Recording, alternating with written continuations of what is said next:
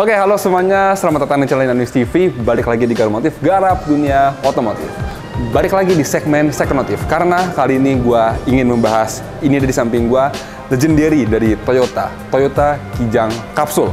Yang diproduksi dari tahun 1997 sampai tahun 2003. Dan yang akan gue bahas ini adalah Toyota Kijang Kapsul yang facelift pertama. Oke, mari kita lihat bagaimana kondisinya. Hah, serapi ini sih. Mari kita review deh. Yuk, lanjut.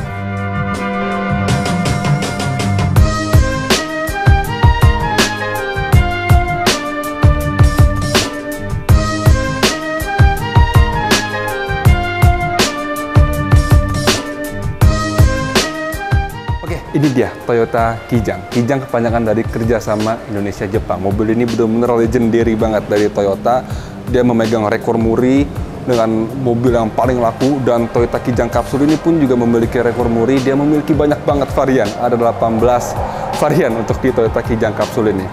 Jadi Toyota Kijang Kapsul ini itu diproduksi dari tahun 1997 sampai tahun 2003. Nah, yang akan gue review ini adalah yang facelift pertamanya. Nah, gimana sih cara bedainnya versi pertama ini dengan yang Toyota Kijang Kapsul yang benar-benar baru keluar yang paling tuanya lah. Nah, terlihat dari bagian eksterior depan ya, bagian grillnya itu. Nah, yang benar-benar yang tuanya itu, grillnya itu dia berbentuk horizontal, garis-garis, dan lampu fog lampnya itu menyatu dengan lampu utamanya, jadi 3 in 1. Jadi lampu, lampu fog lamp dan lampu sen, jadi nyatu. Nah, yang facelift ini berubah, grillnya menjadi kotak-kotak seperti ini, dan ada lampu fog lampnya terpisah di bawah. Nah, jadi Toyota Kijang Kapsul ini dia yang tadi gue bilang ya, dia memiliki 18 varian. Yang pertama variannya itu dia ada yang long dan yang short. Nah, gue baru tahu. Jadi antara long dan short itu memiliki beberapa kasta masing-masing di antara long dan short itu. Jadi yang long itu tipe kasta yang paling rendah itu ada tipe LX, ada LCX, LGX dan yang paling tertingginya itu ada tipe yang kristal. Nah, yang shortnya itu ada tipe SX, SSX, SGX, dan yang paling tingginya itu adalah Kijang Rangga. Luar biasa. Banyak banget itu pilihannya. Jadi gue baru tahu ya, L itu yang longnya, S itu ternyata yang shortnya. Oke, yang tadi gue bilang ya, ini sekarang grillnya sudah berbentuk kotak seperti ini dan lampu fog lampnya sudah terpisah diletakkan di bagian bawahnya. Oke, kita lanjut ke bagian sektor mesin ya. Jadi perbedaannya dengan Kijang kapsul yang pertama kali keluar yang paling tuanya itu masih menggunakan mesin karburator dan yang ini yang sudah facelift pertama dia sudah menggunakan mesin injection.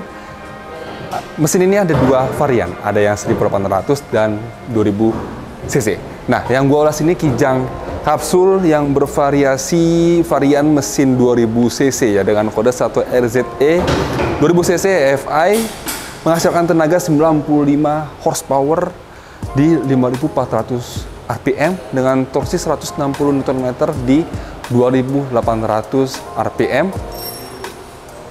dan ada dua varian transmisi. Ada yang manual 5 percepatan dan ada yang otomatis 4 percepatan.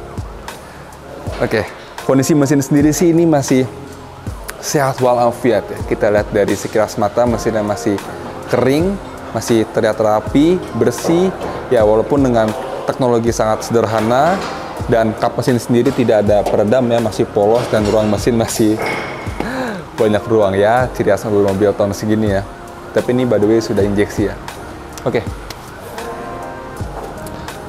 Setelah ini kita lihat bagian samping.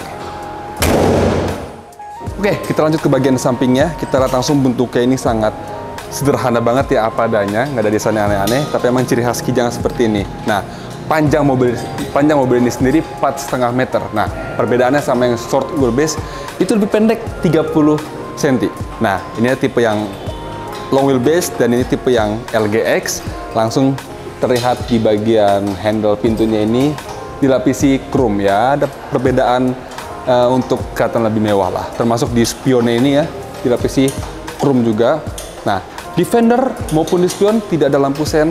Lampu sennya terletak di bagian sini Tapi pinternya Toyota, lampu sennya itu agak di sedikit ditonjolkan karena supaya lebih terlihat bahwa oh lampu sen tuh ada di situ.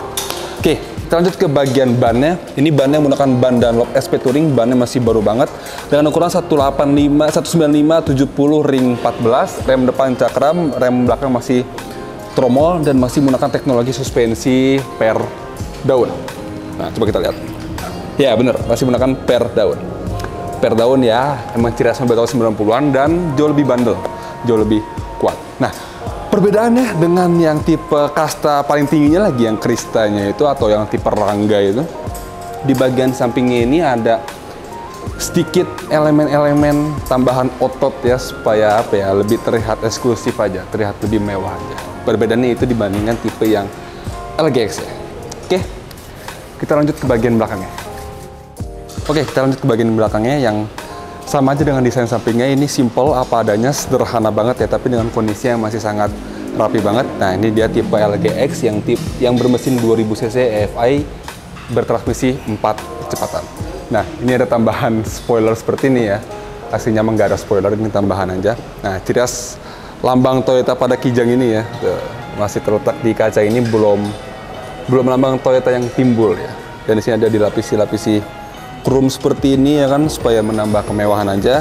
Nah, kamera mundur dan sensor parkir ini adalah tambahan variasi aksesoris biasa. Nah, sekarang kita lihat bagasinya. Oke, wah lumayan berat ini bukannya. Oke, bagasinya ini dengan kondisi bangku paling ketiga ini tegak, ini lumayan luas ya. Untuk nampung 3 sampai 4 koper ini masih masih nampung ini ya. Nah, ini deh yang gue suka dari Kijang itu ya. Kijang kapsul ini yang gue suka tuh dia luas ya. Bisa menampung 10 orang kalau maksain. Bisa ini 10 orang ini. Lihat aja nih. Kursi belakangnya ini luas banget ya. Ya walaupun ini udah paling segini nggak bisa di nggak bisa dimundurin lagi, tapi lumayan luas. Tiga orang di sini menampung dengan eh, nggak uh, sempit-sempitan gitu loh. Ini ada headrest dua dengan kondisi jok segala nih masih rapi ya nih karpet segala macem. Masih oke okay lah masih mulus. Nah di sini juga ada bahan-bahan bludru ya. Masih bagus belum ada sobek-sobek. Masih rapi nih. Jadi emang cocok banget uh, kalian mau cari mobil keluarga dengan budget yang sangat reasonable ya ini bisa jadi salah satu pilihan kalian. Apalagi Kijang sendiri yang kita tahu mesinnya tuh bandel banget. Oke kita tengok bagian interiornya kita lihat. Oke kita lanjut ke bagian interiornya. Oke kita tutup dulu. Wih hmm gue suka banget bau-bau mobil tahun 90-an ya ciri khas banget kijang ya. Wih kondisi sendiri ini masih sangat orisinil bagus rapi apalagi joknya ini bludrunya masih bagus banget. Belum ada sobek sama sekali dan masih bersih kelihatannya ya. Karena emang pilihan warna joknya ini tepat sekali Toyota uh, memilih warna gelap seperti ini. Jadi untuk masalah uh, banyak noda itu nyaru banget. Nah di bagian dashboard sendiri ya sederhana. Dia belum ada safety airbags. Dia cuma ada safety di seatbelt aja dan berdoa supaya selamat ya kan. Nah di depannya ada laci ini ciras kijang kayak gini. Tuh, ada laci di atas tapi tidak ada laci bawah ya cuma laci atas seperti ini aja nah AC Coba kita nyalain deh. Gue penasaran nasinya. Masih bagus nggak sih? Nah ini by the way transmisinya yang otomatis yang tadi gue bilang. Dan kondisi mesin sendiri sehat, top chair tadi nyalain ya. Coba AC-nya. Hmm. Masih adem nih, dingin. Sehat lagi, nggak nggak bau AC-nya. Dia ada ada empat uh, pengaturan, empat speed tuh, speed fan-nya ada empat. Ini untuk pengaturan dingin atau panasnya. Masih dingin kok masih dingin. Masih mantap ini. Oke kita matiin. Oke nah di tengah ini ada tombol hazard. Dan ini entertainment yang sudah diganti menjadi touchscreen seperti ini dan ada tambahan kamera mundurnya. Aslinya mah nggak kayak gini. Ini ada jam masih nyala dengan baik. Setir. Masih bagus kondisi setirnya.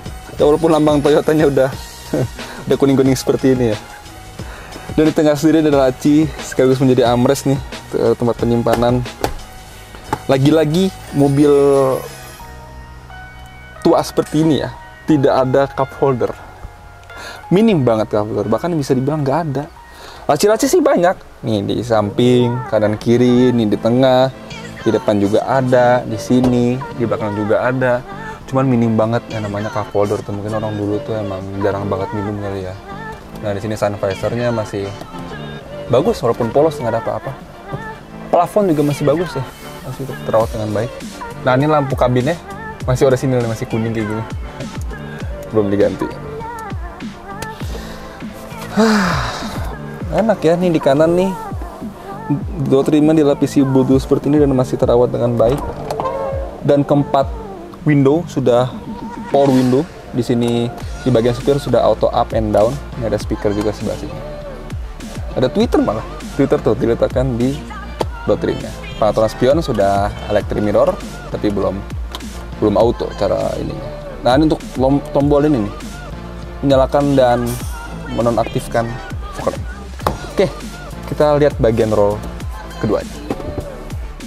Oke, sekarang gue di bagian roll keduanya. Lagi-lagi kijangnya ini masih sangat amat baik ya perawatannya. Masih rapi banget guys soalnya. Nah ini nyaman banget ya. Karena kenapa? Ada armrest. Ini sama persis dengan Toyota Grand Super ya generasi sebelum ini sudah tersedia armrest dan headrest yang proper. Ya walaupun di tengah nggak ada headrest ya walaupun di kanan kirinya ada.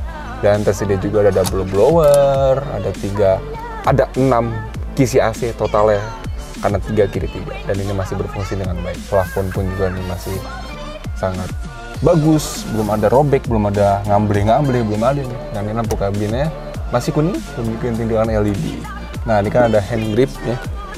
Nah, di pintu door trim belakang masih ada bahan bludru, nggak di downgrade dengan soft touch tuh.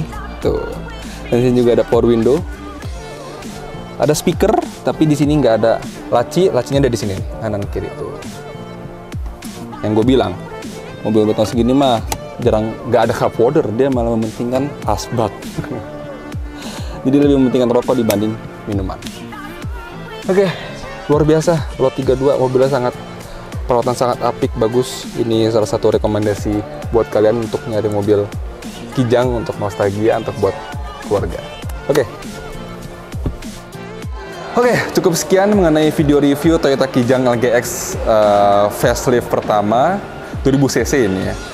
Jadi ini mobil yang sangat rekomendasi banget buat kalian yang cari mobil keluarga, hitung-hitung nostalgia dengan budget yang belum cukup beli Krista. Ini pun juga udah sangat cukup ya untuk kemewahan dan apa yang ditawarkan dari Kijang ini. Apalagi Kijang itu terkenal mesinnya sangat bandel sekali ya kan.